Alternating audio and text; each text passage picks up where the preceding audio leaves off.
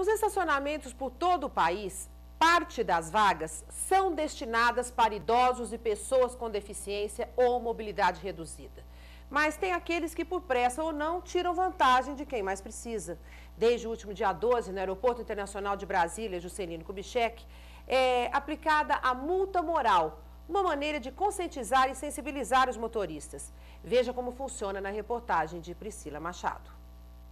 A antropóloga Inês tem 66 anos e se revolta quando vê todas as vagas para idosos ocupadas por quem não tem direito. Isso é que me, me entristece, mais do que qualquer outra coisa, que são adultos que estão estacionados aqui que não têm noção de cidadania. No aeroporto de Brasília, o estacionamento é pago e privativo. Como resposta ao grande número de reclamações na ouvidoria sobre quem estaciona indevidamente nas vagas exclusivas para idosos e pessoas com deficiência, a Infraero lançou uma campanha para conscientizar os motoristas.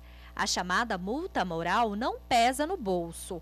Um bilhetinho no para-brisa do carro dá o recado para o motorista deixar para trás esse péssimo hábito. A multa não tem cunho financeiro, ela tem é, é, o objetivo de atingir as pessoas por consciência, é, atendendo à legislação e o direito do próximo em deixar vago a vaga que é dele. Quem estaciona na vaga errada também é chamado pelo sistema de som do aeroporto.